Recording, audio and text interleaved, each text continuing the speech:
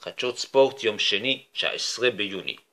הפועל באר שבע הוגרלה במוקדמות ליגת האלופות סיבוב שני מול הקבוצה ההונגרית אונבד בודפש. המשחק הראשון יהיה באצטדיון טוטו טרנר בארץ בתאריך 11 או 12 ביולי. הגומלין לאחר שבוע בתאריך 18 או 19 ביולי בהונגריה ללא קהל. בהמשך היום הגרלת יתר הקבוצות הישראליות במוקדמות הליגה האירופית מכבי תל אביב, בית"ר ירושלים ובני יהודה.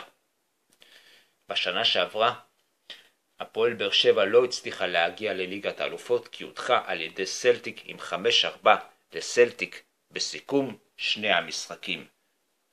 הפועל באר שבע עברה לשלב הבתים של הליגה האירופית והיא סיימה שם מקום שני והעפילה לשלב הבא לשלב 32 הגדולות של הליגה האירופית, שם היא הודחה על ידי בשקטש.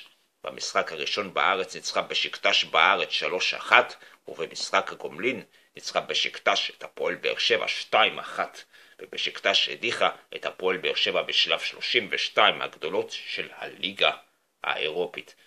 כאמור, בהמשך היום הגרלת יתר הקבוצות הישראליות בליגה האירופית, מכבי תל אביב, בית"ר ירושלים ובני יהודה.